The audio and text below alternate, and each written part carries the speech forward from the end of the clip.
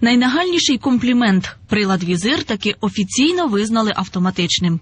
Ми отримали на днях відповідь із держстандарту про те, що пристрій візир в автоматичному та іншому е, режимі показує однакові дані і може використовуватися е, для встановлення швидкісного режиму об'єктів. Цей документ разом з е, іншими повідомленнями заводу виготовлювача, розробників тощо буде переданий прокуратуру.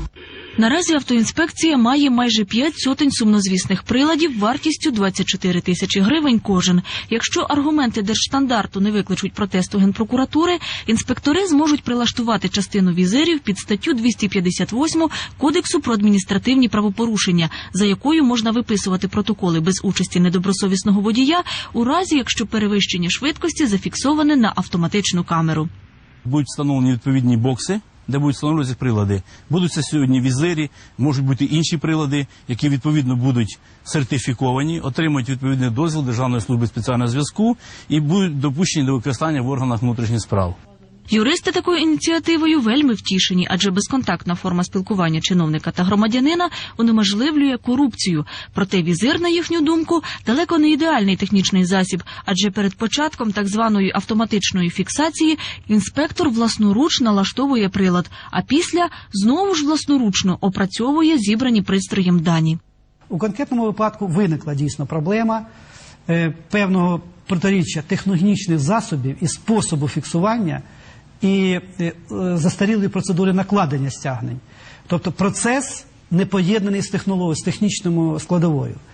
Водіям же новація, звісно, не подобається. Прогнозують, що варто тільки інспекторам знову дозволити присилати листи щастя, як вони досить швидко навчаться обдурювати автолюбителів. В визире это все дело такое. У кого много денег, он все равно будет нарушать. Ничего не изменится. Как они у нас ездили, так они у нас и будут все ездить.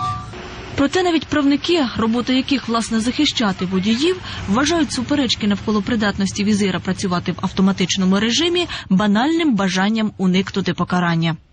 автоматический режим, не автоматический режим, да. Как правозащитник, да, я заинтересован в том, чтобы не нарушали права наших граждан. Но с другой стороны, мы должны понимать, что нарушение правил – это увеличение статистики по смертности. А, ДТП – это несчастный случай, это смерть, это увечье.